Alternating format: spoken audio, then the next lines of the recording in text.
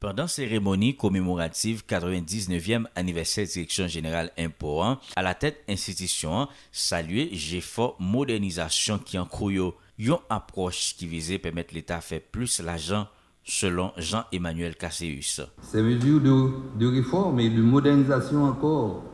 à l'œuvre a permis à l'administration fiscale d'être à la hauteur des attentes de recettes à elle confiées au cours des trois derniers exercices fiscaux.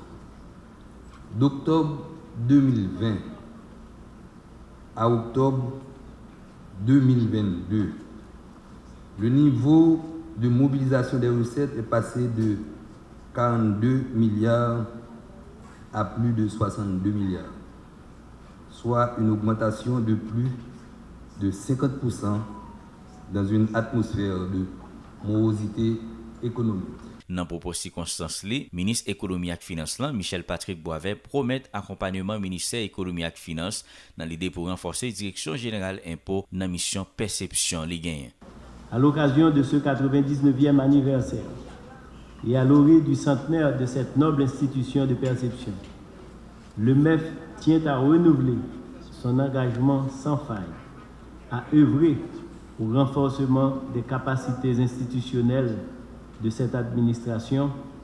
et à la doter de ressources, d'outils pertinents dans le but de l'aider à accomplir ses missions de perception et assurer une prestation de services de qualité aux contribuables et usagers. Premier Ministre Ariel Henry ki tap asiste seremonian renouvle volonté gouvernement lap dirigeant pou soutenu epi akompany administrasyon fiskal lan, an l'okurans Direksyon General Impôt sou chantier reforme ak modernizasyon ki vize komble atente kontribuabyo epi mobilize resous ki desine pou satisfè bezwen sitwoyen yo. Mon gouvernement renouvelle sa volonté de soutenir et d'accompagner l'administration fiskale en l'occurrence la Direction générale des impôts, sur les chantiers de la réforme et de la modernité visant à combler les attentes des contribuables et à mobiliser des ressources